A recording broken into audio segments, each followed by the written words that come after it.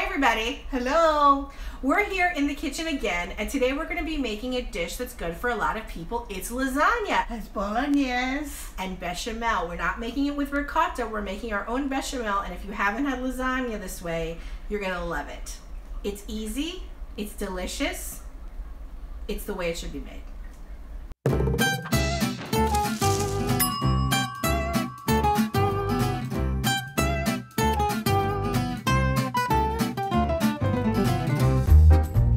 Okay, you guys, here's the deal about lasagna. Most folks here in the States make it with ricotta and lots of shredded mozzarella cheese. The northern Italian lasagna is made with bechamel or white sauce instead of ricotta and mozzarella. Bechamel is easy to make with ingredients most people have in their kitchens milk, butter, flour. That's it. It makes such a difference and it gives a lasagna a rich yet lighter feeling than its denser American style cousin. Let's get started. There are three components to this dish meat sauce, bechamel sauce, and noodles. That's it. We made the sauce ahead of time, and I'll put a link here to the bolognese sauce video we made. This is pretty much heated through, it's warmed. I'm gonna scooch it over to the side. I'm gonna keep it on a back burner. So um, I need I need four cups of whole milk. What, it, what you're gonna be doing with this milk is you're gonna be um, just scalding it, warming it up, and get, getting it ready to put in with the butter and the flour. Ouch, that was hot. to put in with the butter and the flour that's going to go in here to make our bechamel. Melt the butter and then add the flour and whisk for a minute. You want it to be a paste, but you don't want it to brown.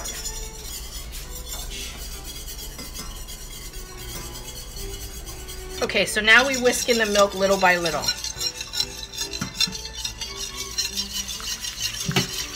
Okay, that's good for now. Let's incorporate this. See how it's bubbling and getting kind of thick like that? Okay, that's good. Let's incorporate that. It's wonderfully rich and fragrant. And, um, well, it's not, it's fragrant of butter, but what gets wonderful is when you put, uh, usually I put a little freshly grated nutmeg in there. I don't think I have any whole nutmeg. I think I'm going to have to use something that's already been grated. Oh, yeah, that's the, that was what I was going to say. The timing. Timing. So Steve Martin always said that he would say, the thing about co good comedy is you have to have great timing. it's an old joke. Um, anyway, uh, the timing of the lasagna is very important because, like, you don't want this bechamel to get too sticky um, before you do the pasta because then it won't spread right. So you just, it's a little bit of a juggling game. Like this is, you know, warmish, that's good. Um, the pasta, you know, we got to boil it. So it's just, you get a little practiced at it and you figure out, you know, getting all the timing right. Timing. Timing. Timing. Timing right. Bring the sauce to a boil and then reduce the heat. Simmer for about 8 to 10 minutes while stirring. Add nutmeg and salt and pepper. Oh, now it's getting thick. Oh, hello, darling.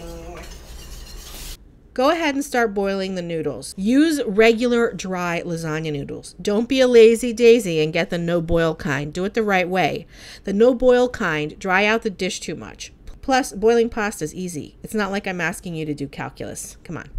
Cook them, but only till they're very al dente and have some tooth. Otherwise, they will be overcooked because they cook more in the sauce when they're in the oven.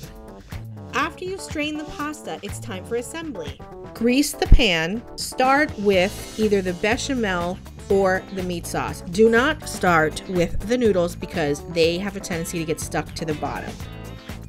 So layer it. I do some pasta, some sauce, some pasta, some white sauce, some pasta, some red sauce. Do it however you feel comfortable, but this is the way I did it. You must end with a layer of bechamel. Then on the very top, I layer Parmesan cheese. For all you cheese heads out there, I'm just gonna sprinkle a little bit of mozzarella. Just a little bit. Make sure to tent the foil on the lasagna, otherwise the foil is going to stick to the cheese. Put in a 375 degree oven. Alrighty. And, and we're done with that. We'll have to wait for 40, 25 minutes. I'm going to take a look at it. Now we're gonna make the salad. Right.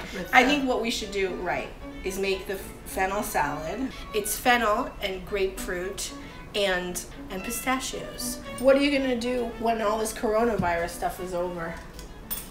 I'm gonna go and take a walk on the beach near the water.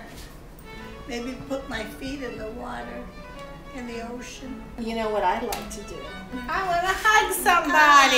we somebody. gotta hug somebody. I need to hug somebody besides you. You're the only person I'm allowed to hug right now. Uh, do you think um, I handshakes? could hug a man. No comment on that one. These are the fennel bulbs. They're beautiful. They um they're impart a wonderful flavor. I'm just cutting the uh, you cut the bottoms off. And then I get a mandolin. You know, it slices things very thinly here on this blade. On this blade. And then um, I place it and then I just take this fennel bulb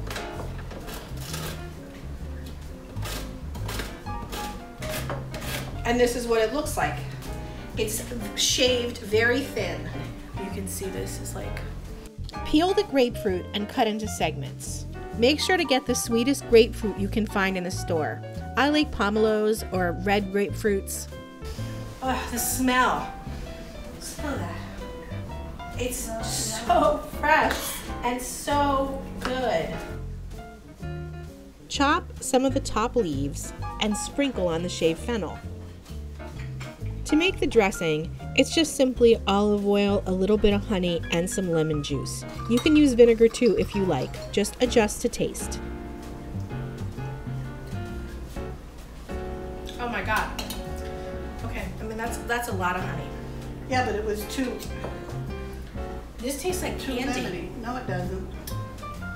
Mom, this tastes like Put some candy. more lemon in it then. Fennel makes you fart.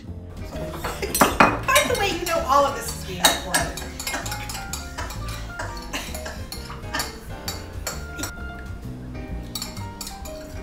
now, now it's ready.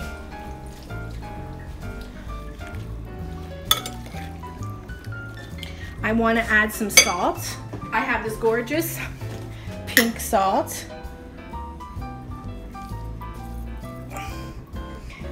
Now, the recipe really that I got this from says flaky sea salt. I don't have it, so I'm using this. But if you have like um, Maldon sea salt, use that. And then um, crack. This is the big thing that makes a huge difference in this is cracked black pepper. Now I have made this dish with also mint. You can put in there. Is nice doesn't necessarily need it. And as you can see, I'm very generous, very generous with the pepper. And it's so, I mean, it smells so citrusy and peppery with a little anise flavor behind it. Oh my God. That is perfect, perfect, perfect. It's crunchy tang. Perfect. So that's gonna go really well with like a hot, bubbly lasagna. All right, I'm very happy with that. Time to check on the lasagna. Uncover and bake for another 10 to 15 minutes. Keep an eye on it, make sure it doesn't burn. The guests have started to arrive just in time. So nice to see you again. Able to see you too. Today is true. I'm gonna leave mom to socializing with our guests while I check the oven. The lasagna looks and smells fantastic. Delicious. I've never had anything that was not delicious in this house. Wow, it's really good.